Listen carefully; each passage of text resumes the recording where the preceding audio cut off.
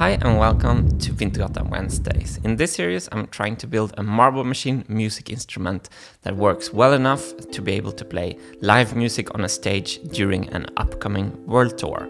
I already built a marble machine, but it wasn't good enough, so now I'm trying to build a better one. For the Marble Machine X, I've been using a lot of computer-aided design in the software Fusion 360, and it has worked really great so far, but a month ago, I ran into serious performance issues. It happened when I tried to assemble all my separate designs into one big full assembly of the Marble Machine X. The Marble Machine X is a quite complicated machine with a lot of parts. Fusion 360 doesn't handle this situation really, really well. For the last three weeks, I've been intensively trying to solve this bottleneck situation. And in this episode, I'm going to show you how I encountered the problem and how I eventually found a workaround to produce this, the full assembly of the Marble Machine X.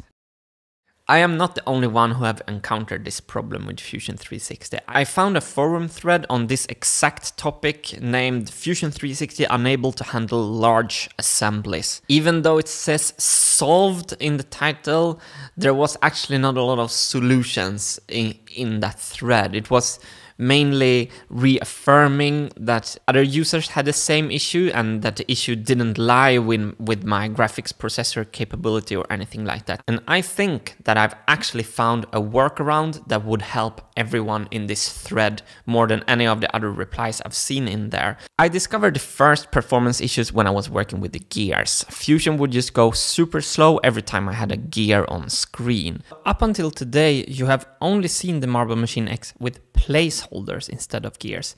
Placeholders are these rings with no gear teeth that are just there to show that there should be a gear here, but I haven't been able to incorporate the gears in the full assembly because of all these issues. But from today, I'm able to incorporate the gears into the assembly, as you can see here. I was able to do that because I found out a way to reduce the number of sketch lines to make the gears, first from 2560 to 512, and then I started to only create one gear tooth and I could make a circular pattern of that extrude feature instead of sketching all the gear teeth and then I could make all the gear teeth with only four sketch lines and that improved the performance a lot. So when I found this out, I was super excited and I thought that the whole situation was solved. I mean, the performance issues of the gears were so much better. But when I tried to assemble everything again after doing this, other kind of problems started to occur. And apparently fixing the gears didn't do the trick. And this made me super disappointed at that time. So the second chapter of our story is the bill of material, often abbreviated BOM, and it's a list of parts for an engineering project. One of the big benefits of designing in CAD is that you can include all your hardware. You can put in all your screws and your washers and then have the program compile a bill of material for you. In Fusion 360 you can import 3D modeled screws, but these threads have a very complex geometry and a lot of faces and bogs down the Fusion performance.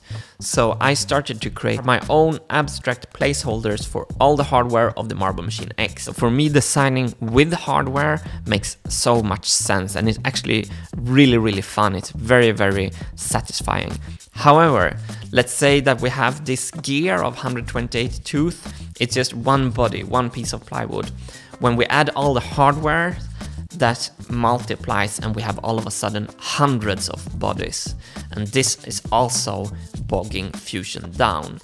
So, I was trying in many different ways to create a full assembly, to gather all my separate parts into one Marble Machine X. And there was two problems that I constantly ran into. So the first problem is that when you have a lot of components, the move command becomes super slow. So when you take a part and you try to move it into place, uh, Fusion would lock down and think for about five minutes to calculate that move and then come in back into life again and execute the move. The second problem is that joinery breaks. So things will move automatically out of place. And this has to do with how Fusion is keeping things bounded to their exact position in the room. So to summarize, in a big assembly with 3000 components, it's almost impossible to move things into the correct place where I want them. And once they are in the correct place, it's almost impossible to keep them there. Both the basic move command and the basic joints commands are breaking down. I started to discuss this problem with Nathan Skalski from CNC Router Parts. He has a past background at Fusion 360. Nathan contacted Jeff Strater, software architect of Fusion 360 from Autodesk, and set up a meeting where we could discuss the performance issues and see if we together could find a solution.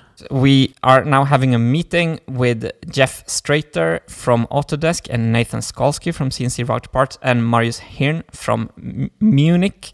And we are going to try to solve this um, large assembly problem that we've been working on for some weeks now. So I don't know how much you know, Jeff, about the situation we've been having. Uh, just a little. Nathan shared a version of one of the models, and we've been sort of looking at it for a couple days. There's one uh, uh, thread on the forum about the same problem. So the big question today is if we are actually on the limit of what Fusion can do, or and and or what we can do about it. That's that's the main question. I'm I'm just gonna cut to what happened right before this meeting. Uh, Nathan told me to try to make an assembly grounding all the components instead of jointing them. And I'm actually been able to assemble almost all of our, our designs. 1700 components and 2600 bodies. And it's still a work workable uh, assembly. Uh, grounding would be more efficient than using. Yeah. Uh, yes. Um, so the right. So the the interesting thing, and and it's it good that you were able to share some of the designs with us because I think this is going to give us some data to work with because the originally we thought that rigid groups should be just as efficient. Yeah. In other words, if you have one grounded part and then rigid groups to everything else, it should be identical as grounding everything.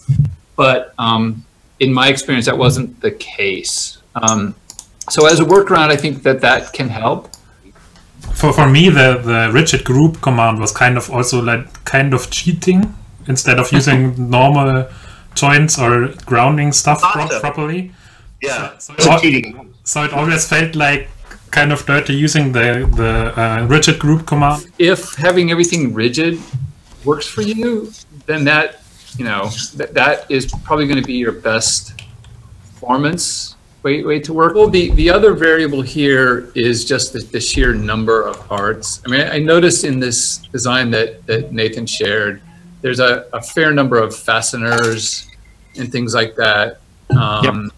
That and, and each one of those, you know, ends up being a body in the assembly solve. Yep. And if if you can get by without the um, without those at the top level, you might be better off. I, I, understand you kind of need them at the subassembly because at some point you have to put the thing together, yeah. right? You have to you have to see them. Um, I, I, was glad to see though that you're not using model threads. Yeah, um, yeah we're, we're, careful about that. Yeah. Although it's it's way too easy with inter oh, all these right. external CAD. Yeah, yeah, uh, yeah. So, but actually you're we're, we're touching of the core of the discussion here a little bit because when, when i started to put the hardware in, in all the fasteners in and I felt revived. I felt like, oh, this is this is what I want to use CAD for because all of a sudden I could change my designs because I saw where the screw were, were, was going. So I was like, I cannot finish this project without having the hardware uh, there at all points of, of the design. And that was why it was such a hard blow a week ago when I was like, oh, so I can't put the hardware in. I need, and that was when we started to look at Inventor because was it like, do I really have to emigrate out of Fusion 360 to be able to finish my project? And uh, until this day, I thought that we had to actually go to another platform, but maybe because, so I don't think it's really, really a solution to, for me, it's not a solution to choose to not have hardware, so to speak. Uh, then I then I would actually rather go through the hassle of, of, of learning Inventor. Yes, you're pushing the limits of what Fusion can do. Um, we you know, we can probably make it work if you're very patient. Um, mm. But yeah, you're you're definitely pushing it farther than I've seen it pushed so far. I like that in a kind of way, in a way. well, and you know, I think I'm sure you can appreciate it, Martin, but the machine is actually very complicated. Oh, and, oh yeah. You know, it's when you look at some of the other commercial projects that Fusion is used with, um, I think even compared to them, it's incredibly sophisticated piece yeah. of engineering. So yeah.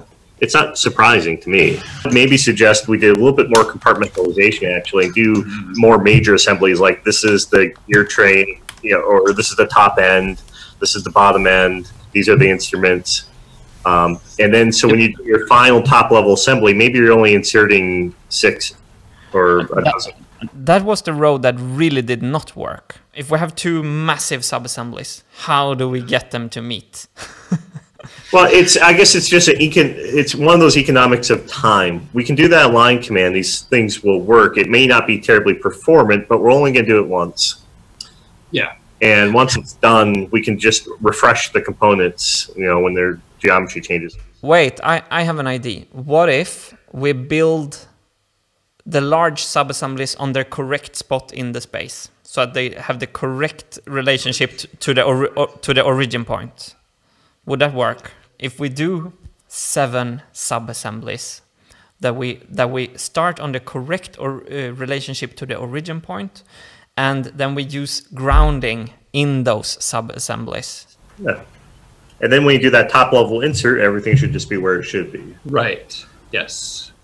I don't know. I feel like we really hit on the highlights, but I mean, just to summarize really quick, um, at least my takeaway from this is we can do this in Fusion. Mm-hmm. We're close to the cap- capabilities at a top level assembly perspective, but we can get there. And but it's really there's an opportunity to do a lot more with the top level assembly in a tool like Inventor.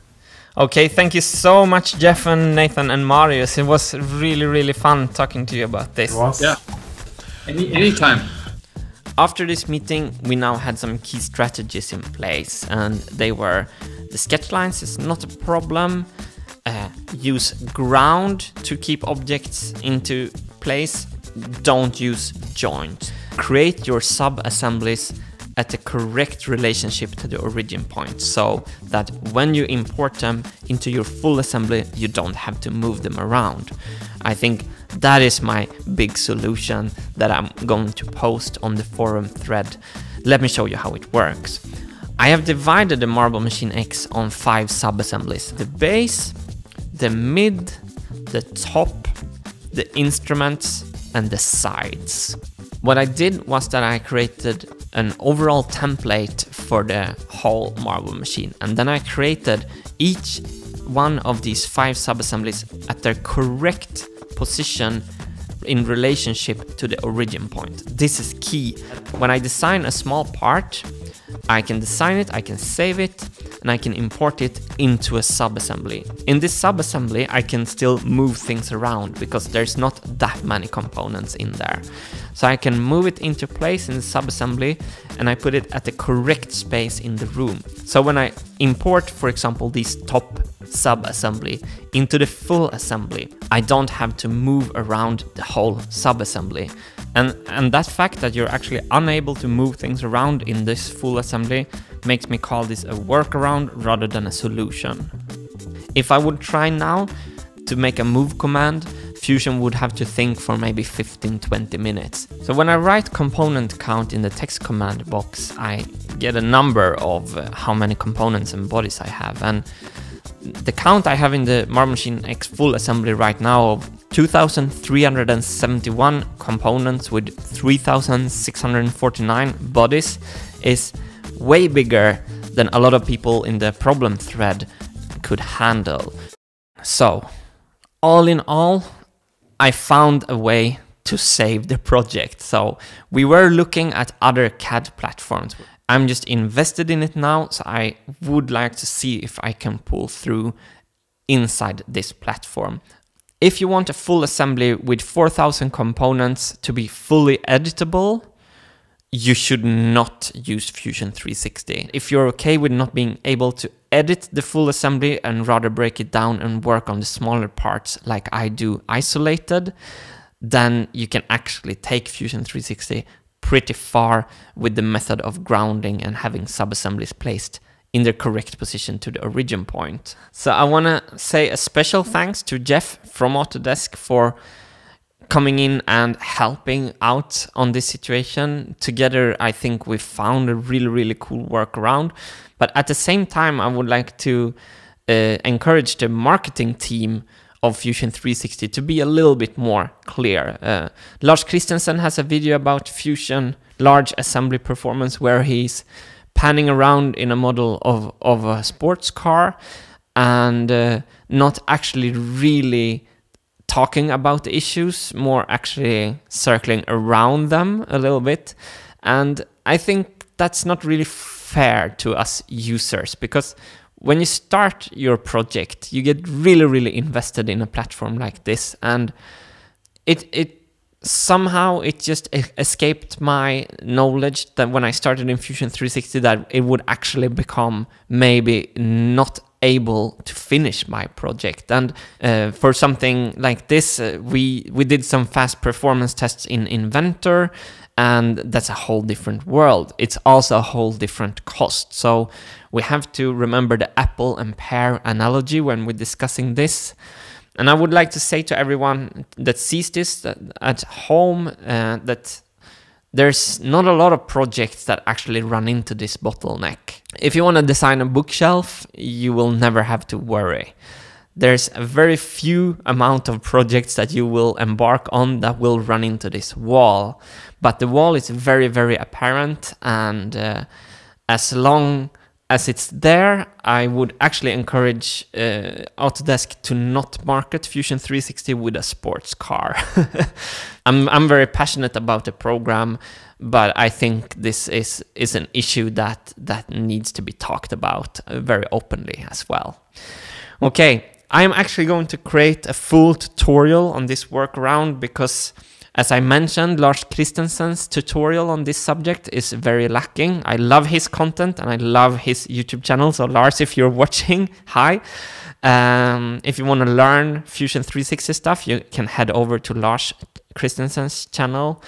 Um, but when I saw the tutorial on this exact topic, I felt the need of making a tutorial that actually addressed the issues. So ever since I've got myself out of this bottleneck. I've been very productive and the model is growing fast and we're soon getting close to the manufacturing stage of, the machine.